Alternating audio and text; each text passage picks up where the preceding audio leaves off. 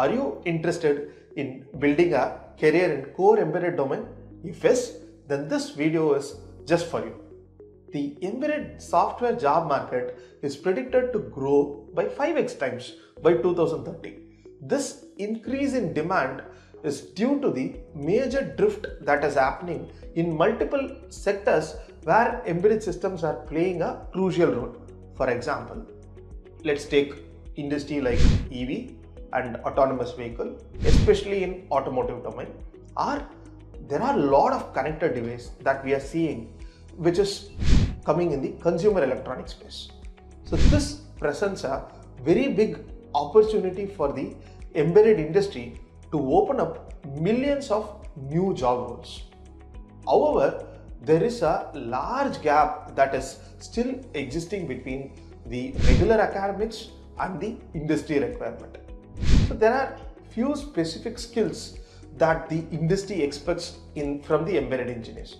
In this short video, I'm going to highlight some of the important skills that is required for the embedded engineers in the today's market. Let's go one by one.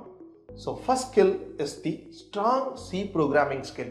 When I say strong C programming skill, one should know how to convert a requirement into a code or logic as well as how to come up with a optimized C program that runs in a safety critical embedded system where memory as well as speed is important.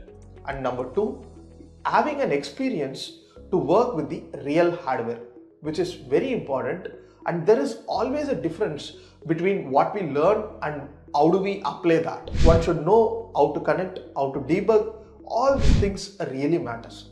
The only thing that bridges these two things is having the experience to work with the real hardware. So number three, having a clear understanding of various applications of embedded system.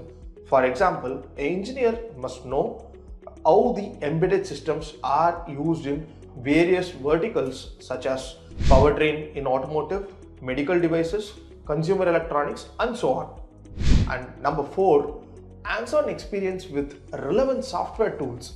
The engineers should develop an important practice of migrating from one tool to a new tool, which ideally comes from a very strong fundamental understanding of the basic concept. And finally, number five, which is to have the knowledge in the latest trends and technology that is existing in today's embedded industry. So, just to simply put, embedded engineers should fundamentally be strong with one programming language like C and one microcontroller architecture such as ARM and one operating system, preferably Linux. So, to transform yourself into an engineer ready for the industry, learn the fundamentals, get hands on experience, pick your domain, upskill, and keep yourself updated. So, for more interesting engineering content, subscribe to Skill Lync.